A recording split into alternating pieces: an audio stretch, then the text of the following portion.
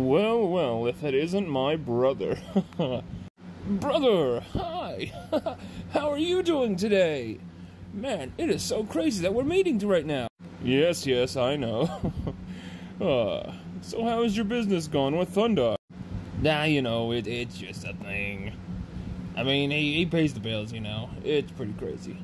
And plus, I get free food and everything. I mean, it's really... Huh, that's great! Well, I'm in the I'm in the smuggling business. Oh yeah, yeah. I've been meaning to ask. How is that? How's it going? It's actually doing pretty great. I mean, we uh, we've had our few snags and whatnot with the Empire, but you know who has? Yeah, man, I understand. oh man, it's so great seeing you though, bro. What in the world do you think they're talking about? You know, I actually wonder that myself sometimes. I mean, I I kind of pretend to know what he's talking about half the time. Yeah, it's so weird. I mean, I, do you think that they're possibly having a conversation? You know, I really think they do. Also, by any chance, does does your human make any sense? No. I mean, I, I mean, all I hear is like this weird sound he makes. I thought that was just me.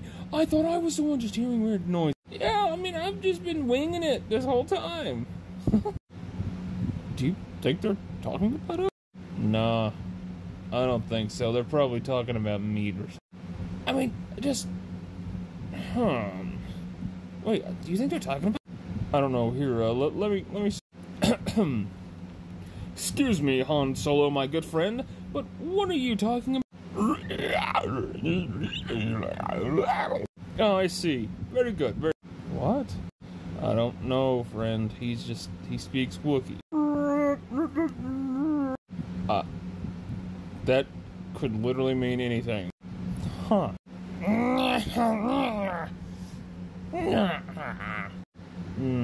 Hmm. Well.